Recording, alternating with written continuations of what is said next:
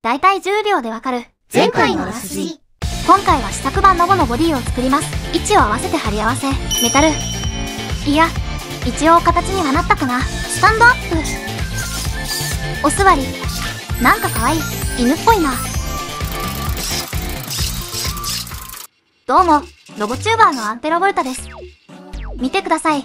ボディから出ている配線をきれいにしてみました。今までは結束バンドで束ねていたんですが、ポリエチレンの巻き巻きするやつにしました。それはいいとして、今回は N 型のロボに歩行の動作とかを組み込みます。YouTube で、プログラムについても教えてほしいとコメントをいただきましたので、少し解説してみます。プログラムは Python で組んでいて、モーターは PWM で制御しています。モーターを動かすときはこんな感じで書いていて、ラズベリーパイ1個のどこかのピンで PWM を使えるようにします。PWM はパルスウィッツモジュレーションの略で、サーボモーターの場合はパルス幅に応じて角度が決まります。モーターによって使える角度とパルス幅が変わるので、設定したい角度のデュティー比を計算します。パルス幅からデュティー比を計算しますが、僕がパルス幅を計算するときは、例えば MG92D を使うとき、利用所から700マイクロセカンドから2300マイクロセカンドで150度動くみたいなので、角度の基準を0度、マイナス75度から75度の範囲を動くこととして、各点を通る線を引いて、その関数を使ってます。普通はどうやるんだろう他の方法を知ってる方がいましたらぜひコメントください。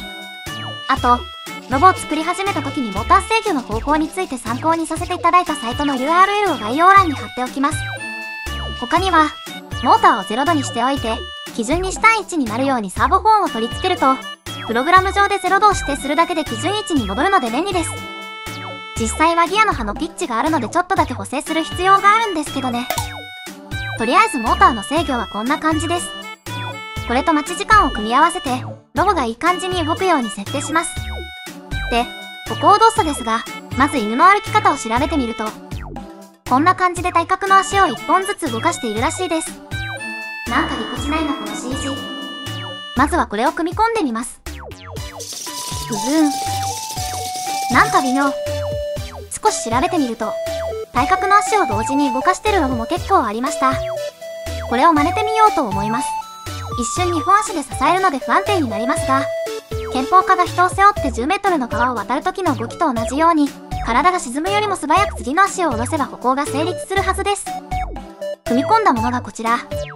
ちょっと足の動きが速いかもしれないけど、ちゃんと歩いた。他にもいくつか組み込んでみます。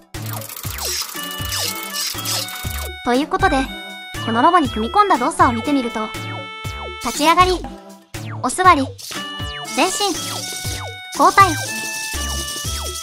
右旋回、左旋回、屈伸折り、が、できるようになりました。今後追加するかもしれないけど、基本動作はこんな感じかな。というわけで、今回の動画は以上。ご視聴、ありがとうございました。よろしければチャンネル登録、高評価お願いします。ではでは。